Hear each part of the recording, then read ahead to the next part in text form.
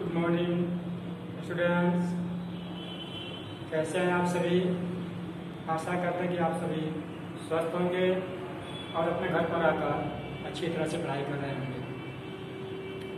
तो हम लोग पिछले वीडियो में एक्सरसाइज 1.4 से संबंधित क्वेश्चन नंबर वन पढ़ चुके थे।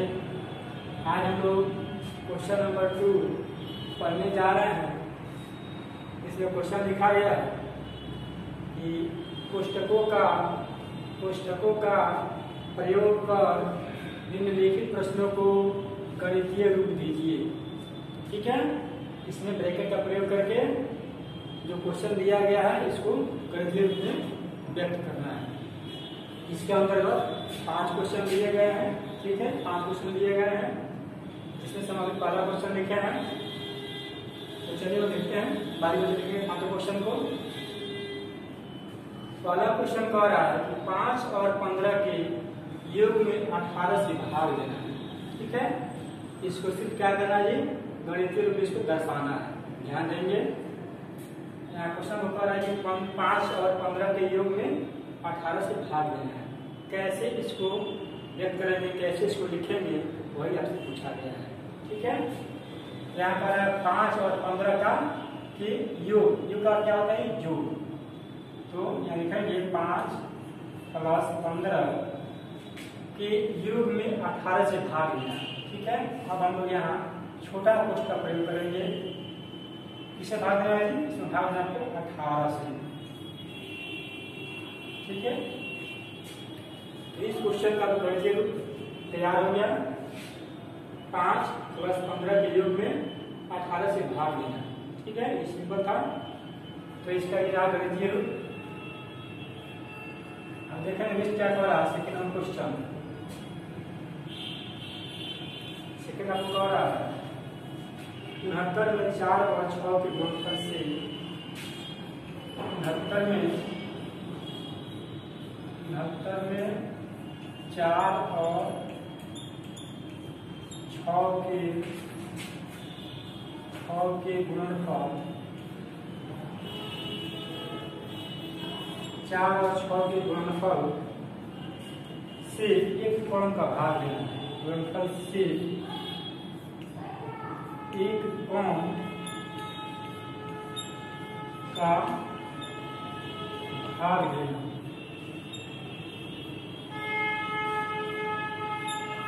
ठीक है? चलिए। समझेंगे इसे? क्वेश्चन कह रहा है कि उनहत्तर में चार और छह के गुणनफल से एक कौन का भाग देना ठीक है? यहाँ लिखेंगे इसके आंसर में क्या कर? उनहत्तर में, ठीक है? इसे भाग देना है चार और छह के गुणनफल से, ठीक है?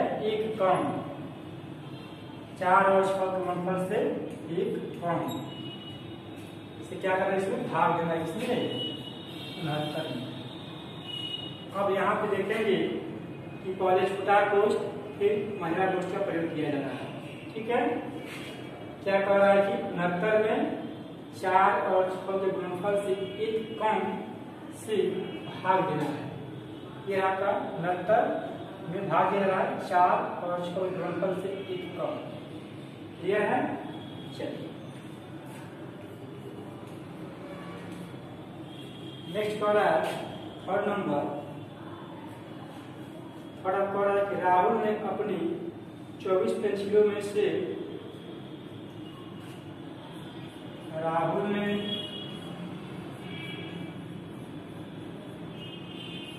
राहुल ने अपनी 24 पेंसिलों में से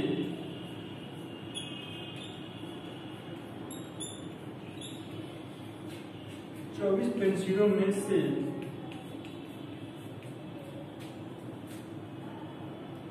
चार को अपने पास रखकर, चार को अपने पास रखकर, अपने पास रखकर,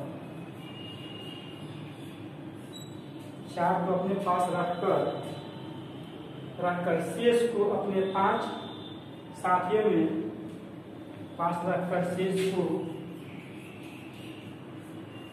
शेष को अपने अपने पाँच साथियों में अपने पाँच साथियों में बराबर बराबर बांट दिया। बराबर बराबर बांट दिया।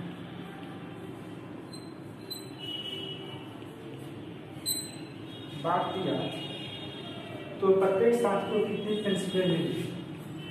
प्रत्येक साथी को कितनी पेंसिलें मिली? कितनी पेंसिलें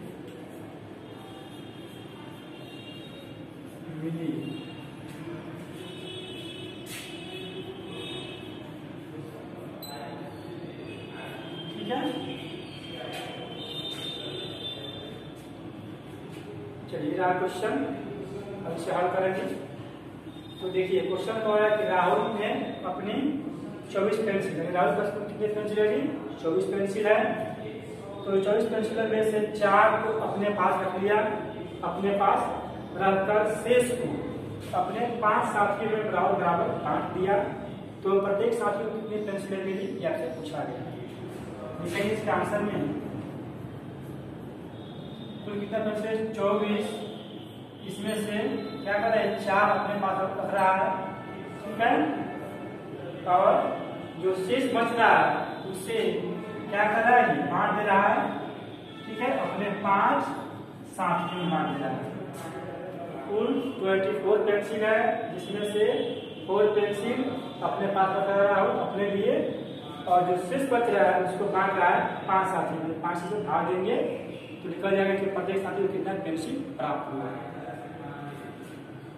क्या आपका जाएगा? बीस भागे पाँच, बराबर कितना आएगा जी? पाँच यानी चार पेंसिल कितना जी? चार पेंसिल आपको जो है प्रत्येक साथी को प्राप्त हुआ। इसका आंसर हो जाएगा चार पेंसिल ठीक है? तो ये रहा क्वेश्चन नंबर थर्ड अब देखते हैं क्वेश्चन नंबर फोर्थ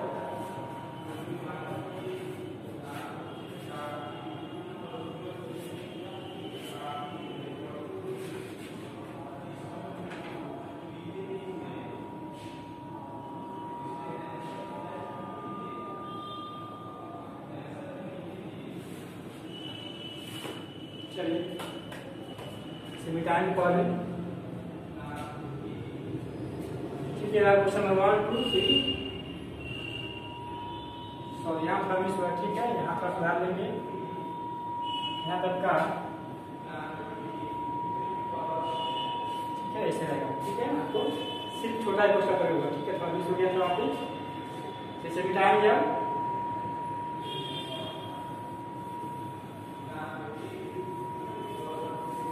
चलिए दो क्वेश्चन और है। तो फटाफट दो क्वेश्चन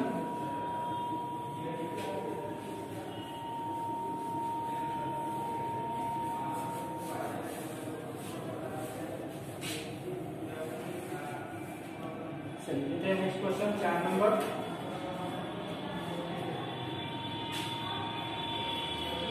है। पच्चीस तथा पाँच के योग। पच्चीस तथा पाँच के योग योग से योग से एक अधिक एक अधिक एक अधिक का एक सौ चौबीस में भाग देना। एक सौ चौबीस में भाग देना। ठीक है यह क्वेश्चन नंबर फोर है। पच्चीस तथा पाँच के योग से एक एक अधिक इसको हल करें किसमें भाग देना है, भाग देना तो इसको। चौबीस में भाग देना है। यहाँ क्या कर है? पच्चीस तथा पाँच के योग से एक अधिक। यानी लिखेंगे छोटा को पच्चीस प्लस पाँच। यानी क्या जाएगी पच्चीस प्लस पाँच के योग से क्या है? एक अधिक यानी प्लस वन ठीक है? अब हम लोग यहाँ जो है, मंजिला कोष का प्रयोग करेंगे क्योंकि यहाँ क्या है इसके बाद है। दूसरा कोष के बाद रहा प्लस वन ठीक है? तो यहाँ हम लोग मंजिला कोष का प्रयोग करेंगे। यानी पच्चीस तथा पाँच के योग से एक अधिक का एक सौ चौबीस में भाग देना। ठीक है? ये आपका फोर्थ नंबर क्वेश्चन का गणितीय रूप। लास्ट क्वेश्चन जो है फाइव नंबर इसमें क्या है दो तथा चार के गुणनफल दो तथा चार के, दो तथा चार के गुणनफल दो तथा चार के गुणनफल से दो कौन का, से दो कौन का दो कौन का नौ से गुना कर, नौ से गुना कर, नौ से गुना कर, नौ से गुना कर गुणनफल में छ से भाग देना गुना कर गुणनफल में गुणनफल में छ से भाग देना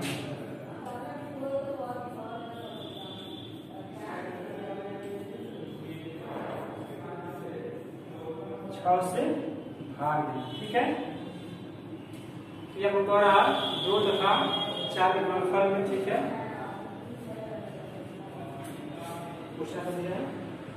चार ठीक है?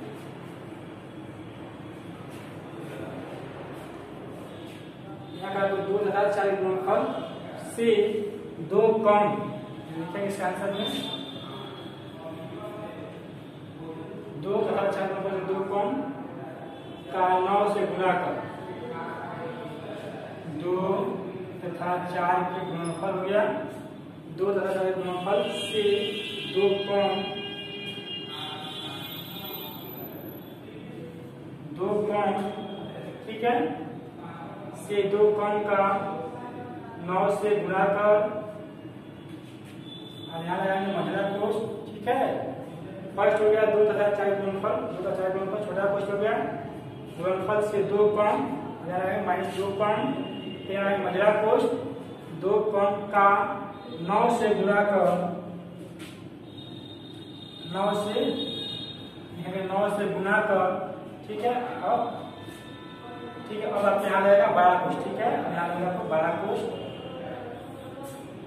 नौ से गुना कर, गुणनफल में छ से भाग देना सिक्स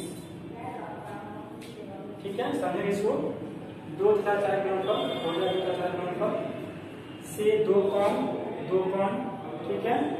ये लगाएँगे मजरा कोष फिर गुणनफल में नौ से गुना कर। नौ से गुना कर प्राप्त गुणनफल में छ से भाग देना और यहाँ लगाएँगे बड़ा कोष इसके बाद इसमें भाग देना छ से। ऐसी क्वेश्चन को सबसे पहले, ठीक है? छोटा कोष फिर मंझला कोष फिर बड़ा कोष को हटाते हैं, ठीक है? यानी ऐसे क्वेश्चन को हल करते हैं तो पहले छोटा कोष का क्रिया करते हैं, फिर मंझला कोष का फिर बड़ा कोष का ठीक है तो इसका यही रूप हुआ गणितीय रूप। तो पाँचों क्वेश्चन आपको आगे समझ में तो इसे आप नोट कीजिए ठीक है? और इसे हम लोग अच्छे से समझने का प्रयास करेंगे। यदि आपको वीडियो के एक बार डिफरेंस समझ आएगा दोबारा देखेंगे और अवश्य समझ आएगा तो मिलते हैं फिर नेक्स्ट वीडियो में, नेक्स्ट क्वेश्चन के साथ। तब तक के लिए धन्यवाद। Thank you